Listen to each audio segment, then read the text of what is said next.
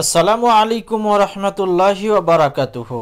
M S Bangla watch YouTube চ্যানেলে আপনাদের সবাইকে স্বাগতম। সুপ্রিয় দর্শক শ্রোতা, জামিয়া মসজিদ চত্বরে বিক্ষোভ, গ্রেপ্তার চল্লিশ। জামিয়া মসজিদ চত্বরে বিক্ষোভ দেখানোর অভিযোগে চল্লিশ জন বিক্ষোভকারীকে গ্রেপ্তার করেছে পুলিশ। তাদের মধ্যে পনেরো জনের বিরুদ্ধে জননিরাপত্তা আইনে মামলা দায়ের করা হয়েছে। এই মামলায় কোনো বিচার প্রক্রিয়া ছাড়াই যে কোনো অভিযুক্তকে এক বছর পর্যন্ত জেলে পুরে রাখা যেতে পারে। অন্যদিকে পছন্দের প্রার্থী নয়, পরিবর্তনের প্রস্তাব। নইলে প্রচারে নামবেন না, সাফ জানিয়ে দিলেন অনুব্রত মণ্ডল। নন্দীগ্রামে প্রচারের সময় পড়ে গিয়ে আহত মমতা ব্যানার্জি। মুখ্যমন্ত্রী চাইলে তাকে কেন্দ্রীয় নিরাপত্তা দেওয়ার প্রস্তাব দেশের স্বরাষ্ট্র মন্ত্রণালয়ের। তো সুপ্রিয় দর্শক, আসুন বিস্তারিত আলোচনা করি। তবে এর আগে একটি ছোট্ট রিকোয়েস্ট যদি আপনার আমার চ্যানেল নতুন হন, তাহলে অবশ্যই চ্যানেলটি সাবস্ক্রাইব করুন এবং পাশের বেল আইকনটি বাজিয়ে দিন। জামিয়া মসজিদ চত্বরে বিক্ষোভ দেখানোর অভিযোগ চল্লিশ জন বিক্ষোভকারীকে গ্রেফতার করেছে পুলিশ। তাদের মধ্যে পনেরো জনের বিরুদ্ধে জননিরাপত্তা আইনে মামলা দায়ের করা হয়েছে। এই মামলায় কোনো বিচার প্রক্রিয়া ছাড়াই যে কোনো অভিযুক্তকে এক বছর পর্যন্ত জেলে পুরে রাখা যেতে পারে। উপত্যকায় তিনশো সত্তর ধারা রদের পর এই প্রথম এই ধরনের কোনো গণবিক্ষোভের ঘটনা ঘটল। সেই সময় হাজার হাজার আন্দোলনকারীকে আটক ও জেলবন্দি করা হয়েছিল আর গত শুক্রবার জামিয়া মসজিদ চত্বরে ফের বিক্ষোভ প্রদর্শিত হল। আসলে এই মসজিদের ইমামতিকরণ উপত্যকার বিচ্ছিন্নতাবাদী নেতা হিসেবে পরিচিত মীর ওয়েজ উমর ফারুকি। ফারুকির দাবি, তাকে মসজিদে আসার অনুমতি দিয়েছিল পুলিশ। পরে পুলিশ সেই সিদ্ধান্ত বদল করে। তাকে মসজিদে এসে নামাজে যোগদান দেওয়ার চেষ্টা আটকে দেয় প্রশাসন, আর তা থেকেই এই বিক্ষোভের সূত্রপাত। উল্লেখ্য দু হাজার উনিশ সালের আগস্ট থেকে তিনি গৃহবন্দী। এই প্রসঙ্গে ফারুকি জানান, প্রথমে পুলিশ মসজিদে নামাজে অংশগ্রহণে অনুমতি দিয়েছিল, কিন্তু পরে তার বাড়ির চারপাশ পুলিশ ব্যারিকেড দেয়।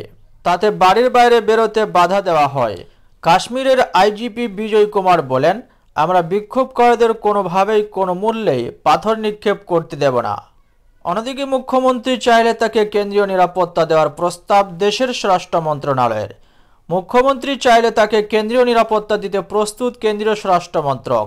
সূত্রের খবর, নন্দীগ্রামে মুখ্যমন্ত্রী মমতা বন্দ্যোপাধ্যায় চোট পাওয়ার পরই তার পরিস্থিতি সম্পর্কে খোঁজ নেয় স্বরাষ্ট্র মন্ত্রক। তারপরেই কেন্দ্রীয় সরকারের পক্ষ থেকে স্বরাষ্ট্র মন্ত্রকে নিরাপত্তা দেওয়ার আশ্বাস দেওয়া হয়। তবে মুখ্যমন্ত্রী যদি নিতে চান তবে নির্বাচনী প্রচারে গিয়ে খোদ মুখ্যমন্ত্রী আক্রান্ত হয়ে গুরুতর চোট পাওয়ার ফলে তার নিরাপত্তা নিয়ে বড় প্রশ্ন উঠে গিয়েছে। জেড ক্যাটাগরি নিরাপত্তা বলয়ে থাকা সত্ত্বেও চোট পাওয়ার পর মমতা বন্দ্যোপাধ্যায় নিজে ষড়যন্ত্রের অভিযোগ তোলেন।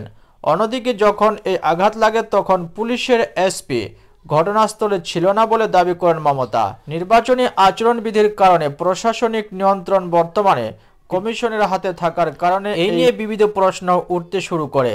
সূত্রের খবর এরপরই রাজ্যের মুখ্যমন্ত্রীকে কেন্দ্রীয় নিরাপত্তা দেওয়ার প্রস্তাব দেওয়া হয় স্বরাষ্ট্র মন্ত্রকের পক্ষ থেকে।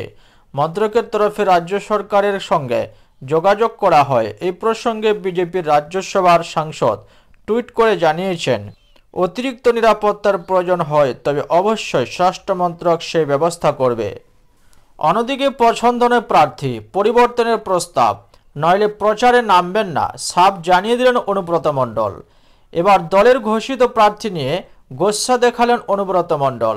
সরাসরি জানিয়ে দিলেন বীরভূমের দশটি আসনের দায়িত্বে তিনি নেবেন, একটি বাদে, কারণ ওখানকার প্রার্থী তার পছন্দের নয়। অপছন্দের কেন্দ্রের নাম দুবরাজপুর। ফলে প্রার্থী ঘোষণার পর তিন দিন কেটে গেলেও দুবরাজপুরের কোনো উৎসাহ নেই তৃণমূল কর্মীদের। তারা কাজেও নামেননি এখনও বীরভূমের তৃণমূল সব আসনে প্রার্থী ঘোষণার পর ইতিমধ্যেই নলহাটির বিধায়ক ময়নুদ্দিন শামস দল ছেড়েছেন। কিন্তু এরই পাশাপাশি দুবরাজপুর বিধানসভার বিধায়ক নরেশচন্দ্র বাউরিকে প্রার্থী করেন দল। তার বদলে খয়রাসলের বাসিন্দা গৃহবধূ অসীমা ধীবরকে প্রার্থী ঘোষণা করেন দলনেত্রী। সেদিন অবশ্য অনুব্রত মণ্ডল চুপ ছিলেন। এমনকি দুবরাজপুরের প্রকাশ্য সভায় বিধায়ক ও বর্তমান প্রার্থী দুজনকে পাশে বসিয়ে জনসভায় দলীয় প্রার্থীকে জেতানোর আহ্বানও জানান। অনুব্রত মণ্ডলের পাঠানো তালিকাকেই বরাবর স্বীকৃতি দেয় দল, কিন্তু ওই আসনে তার পাঠানো নামও যে বিবেচনা করা হয়নি তা এই খুবই স্পষ্ট। ফলে দলের কাছে নিজের আপত্তি জানিয়ে দুবরাজপুরে প্রার্থী বদলের জন্য নতুন করে ফের তিনটি নাম পাঠিয়েছেন জেলা তৃণমূল সভাপতি।